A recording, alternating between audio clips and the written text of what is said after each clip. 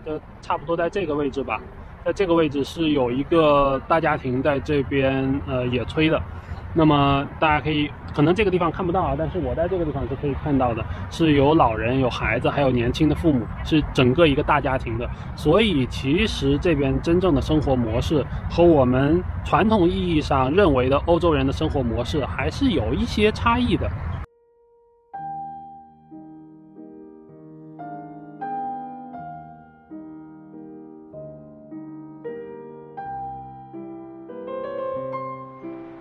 又见面了。哎，每回准备好题材要照着稿去讲的话，就总是坑坑巴巴的，总是会录完删掉，然后再重录一遍。那么今天的话也不例外。我现在归结可能是因为我戴着耳机边在听歌，然后还边在想着稿子跟大家说的缘故，导致我说了十几分钟，最后没办法，只能把前面的全部删掉重来。好，今天我们来给大家讲一下欧洲的养老制度。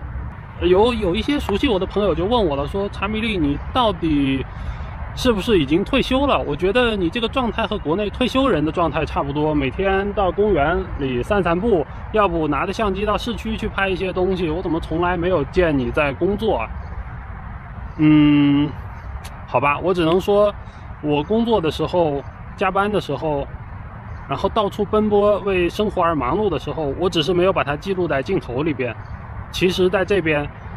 所谓的一些中年养老是不可能的。你在这边，除非你是财务自由，不然的话，你是必须要为生活去奋斗的。欧洲也不是养懒人的地方。好，那么既然讲到这一点，我们今天就来给大家讲一下欧洲的养老。我们来看一下欧洲的老年人在退休之后是如何养老的，他们养老的资金来源。有哪些组成部分？一般男性是从六十五岁开始退休，那么女性的话，有些国家是六十五岁，有些国家是六十岁，所以只有所以只有在退休之后才可以享受国家发放的这样一些公共的养老津贴。那么我们再来看一下，知道年龄之后，我们再来看一下平均的寿命，你就知道这个东西是有多么的不公平了。在以波兰为例。男性，呃，波兰这边男性的平均寿命是七十四岁，而女性的平均寿命是八十二岁。也就是说，男性在退休之后最多可以享受九年的这样一个免费医疗政策，而女性的话却可以享受长达二十二年。这个时候，你是不是觉得就没有必要再去说什么女性的工作没有男性上升空间大，女性的待遇不公什么什么的，对吧？想一想这个，你就会发现。好日子其实在后头呢。呃，除了年龄之外，另外一个想说的就是哪些人是可以的。只有在欧盟生活并且持有欧盟公民护照的这样一类人才可以享受免费的公共医疗。到这个地方，可能百分之九十九的人就要关机了。我不看这个视频了，跟我没有关系。但是我想说的话，呃，不要着急，慢慢去看。呃，其实对于很多持欧盟护照的欧盟公民来说，他们的呃这样一个养老金也是有多个部分组成的，也并不是我们想的那么的单一。首先，第一个就是大家知道的公共国家发放的这样一个基金，这个基金的主要资金来源，除了现在年轻人缴的养老保险之外，还有就是一些社会的救助基金，还有就是呃养老基金在社会方面投资得到了一些回报。这些钱的话都会拿来用于呃目前的老年人的养老金发放。说白了就是用你现在的钱去养现在的老人，然后你的话是下一代年轻人来养你。那么这个钱的话，其实呃并不算特别的多。呃，以波兰这个消费不是特别高的地方为例。这养老金发放差不多一个月，也就是三四千人民币的样子，呃，发到每一个老人手里够做什么呢？够他们基本的衣食住行这样一些基本生活开销。说对于很多人来说，他们的养老金其实除了国家发放的这一部分之外，还会有另外一部分，另外一部分的组成就要看你年轻时候的积累了。有些人可能会有一些退休的单位单独发放的津贴，或者说自己有自己的公司，然后可以分红。或者呃，有些人还会在退休之后打一份工，比如说呃，给别人做保姆了，或者说是家政类的，或者是到其他公司去做一些兼职的，不算特别呃重体力的这样一些劳动来赚一些额外的养老金。当然了，还有一些人是呃把自己的房子抵押给银行，呃，然后银行以这样一种以房养老的形式，按月去还你的这样一个房屋的价值等额的贷款。呃，不能算贷款吧，就相当于银行，你把银房子抵押给银行，然后银行给你以每月分一部分钱，然后直到若干年之后，呃，这个房子的所属权就归银行了。而在这个过程当中，你是每个月有额外的一笔津贴可以用于你的生活开销的。那么拿着这个贷款，北欧那边的老年人活得还是其实比较好的。我听说过很多北欧的老年人在退休之后才开始真正的去享受生活。去环游世界，去呃北极探险，去南极探险。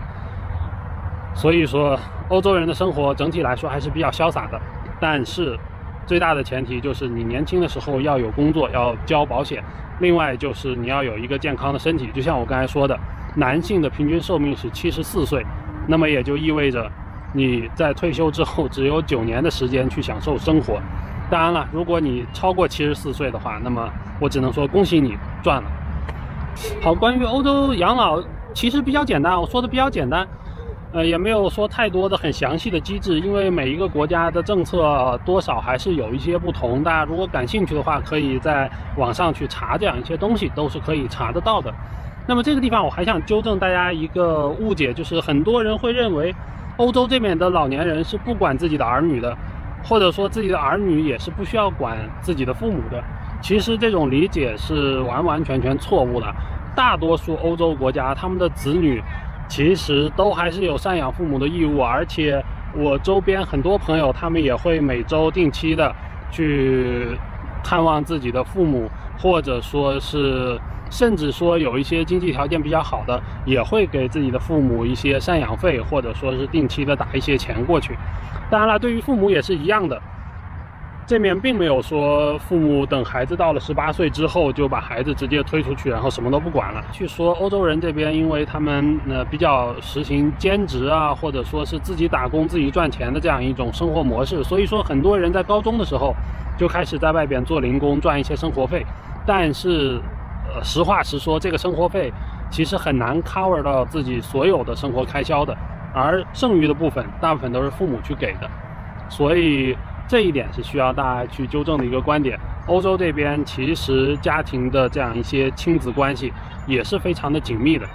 当然了，这边很少会有像国内那样父母给看孩子这种情况是比较少的，偶尔看一两天还可以。但是长期看确实是没有，所以很多年轻人都是下午下班之后第一件事情就是去接孩子，然后看孩子，或者说家里边会有一个人全职的在家看孩子。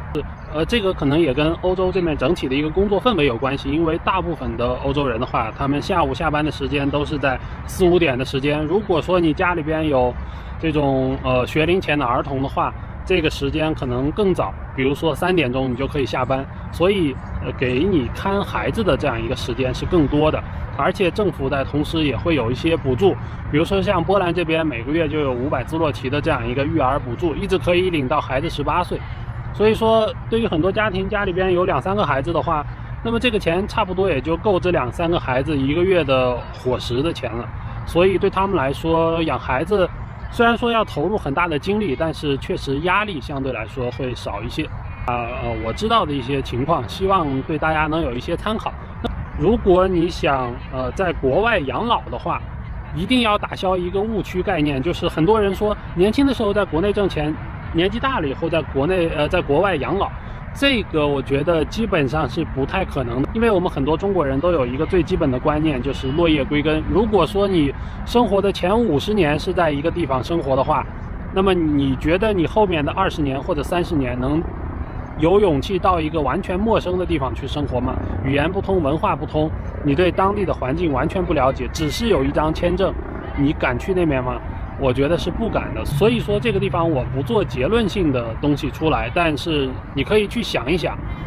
这样一个在国内赚钱，在国外养老的这样一种想法，到底是一个真命题还是一个伪命伪命题？而且现在国内的开销这么大，你在国内赚多少钱才可以保证你后面二十年或者三十年能够衣食无忧的在这边生活。好，那么我们这一期视频就到这里。如果你对我的视频感兴趣的话，别忘了点击关注。记住，我是一直待在欧洲的查米利。我们下一期视频再见，拜拜。